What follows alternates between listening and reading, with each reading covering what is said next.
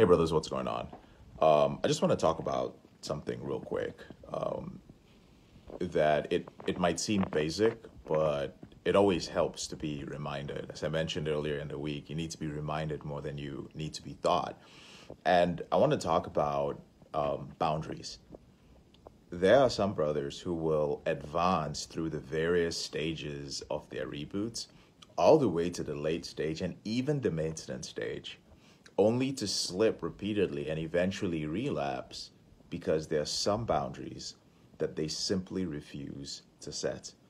And the most common boundaries are usually with technology. There's some boundaries that some brothers, it will take them a year before they finally accept that they cannot have a smart TV in their home. They just can't. Like it's it's not gonna work out, right?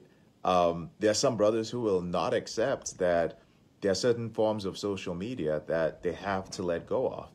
And you know what the interesting thing is? It's that a lot of times things like the TV, things like social media are not just uh, threatening your reboot. They're also holding you back in other areas of your life. They're the little distractions that you run to when your mind doesn't want to focus on the important things, when it wants to procrastinate, when it experiences resistance towards discipline. It's there, so your mind goes to it.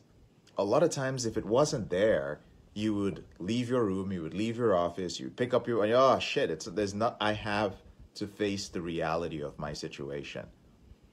Brothers, rebooting is deeper than just controlling your behavior. I know some of you show up here feeling that, yeah, I'm just here to control my sexual behavior and that's it.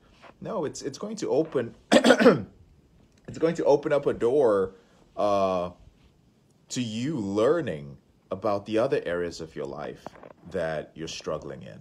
Understand that that's how it works for a lot of brothers. It may not uh, be as life changing as it was for me.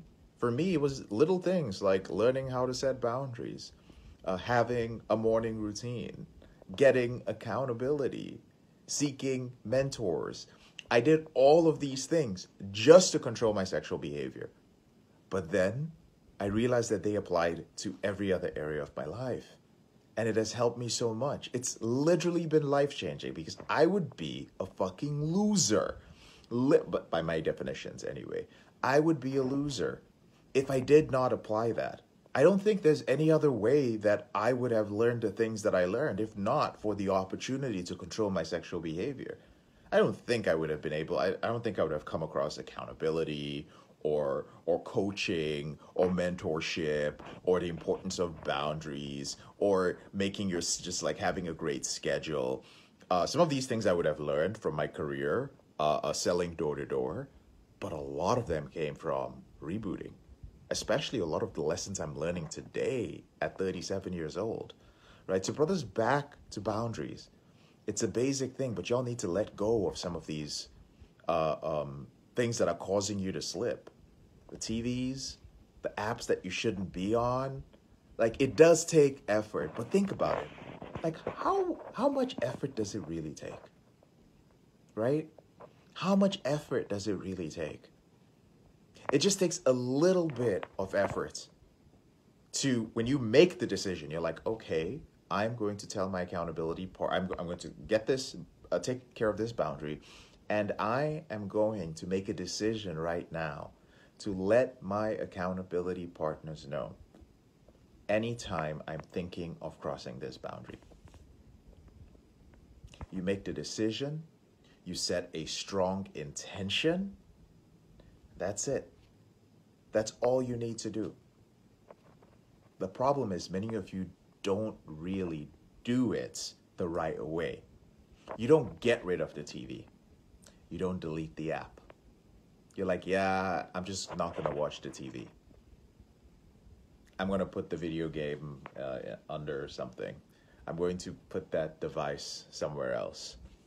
I, am going to put those pictures, I'm going to delete those pictures off my phone, but they're still going to be on, on, on the cloud. That's what you're doing. You're not fully letting it go. Why? Trial rebooter. You hope that one day you will be able to use some of this stuff in moderation. You hope I will control my behavior so I can go around and do all those other things. But, brother, as you go through the process, you will start identifying the things that are unique to you. But you have to commit to letting all those things go first. Commit to it. Commit to letting all the, like, okay, I'm going to get rid of the TV.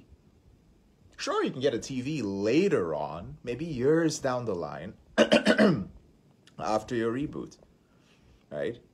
And uh, I'll leave you with this there's nothing wrong with i know i make it seem as like yeah just get rid of the fucking tv um, you can do that. But i understand that for some of you guys it's not that easy. For some of you guys there are cultural connections to it. For some of you guys there are legitimate fears that oh i'm not i'm not going to be able to get a date without my phone. I'm going to be absolutely bored without instagram. Um, i don't know what to do without a tv that's okay. Ask us in the group We'll show you how to create a lifestyle without any of these things. All right. So enough said. Um, please go all the way with your boundaries, and I'd love to hear you guys' thoughts. Let me know in the comment section below. Bye.